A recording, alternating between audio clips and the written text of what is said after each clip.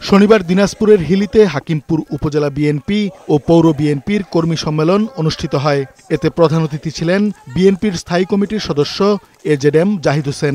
এ সময় তিনি বলেন শহীদ রাষ্ট্রপতি জিয়াউর রহমান দেশে বহুদলীয় গণতন্ত্র এনেছেন। বাংলাদেশের উন্নয়ন ও অগ্রগতির প্রতীক তিনি।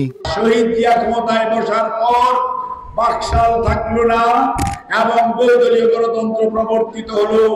শহীদ জিয়া খবর ক্ষমতায় বসার পর তলাহীন ঝুড়ির তলা লাগানো হলো। এখন যাই দেওয়া হয় ঝুড়ি ভরে যায়।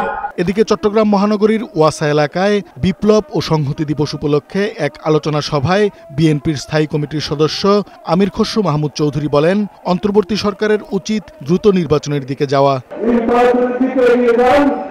এবং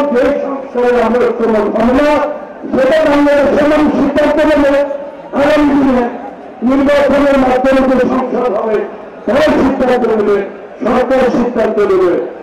এর বাইরে অনির্বাচিত কারও কোনো অধিকার নাই।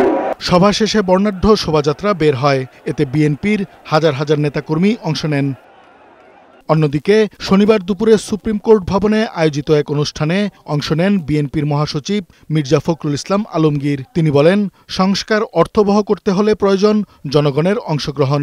আমরা বিশ্বাস করি যে যাদের নেতৃত্বে এই সরকার চলছে, তাদের নেতৃত্বে একটা, আর যেহেতু ছাত্ররাও এর মধ্যে আছে, তরুণরাও এর মধ্যে আছে, আমরা বিশ্বাস করি তারা নিশ্চয়ই সেই জায়গাটাতে পৌঁছাতে পারবেন।